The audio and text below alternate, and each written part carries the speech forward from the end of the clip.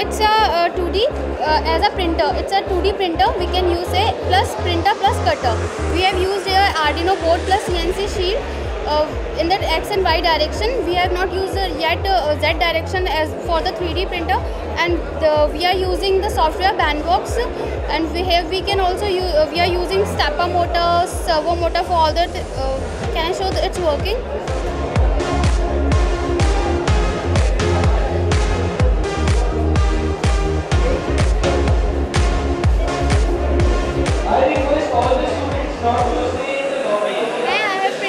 College name ACIT.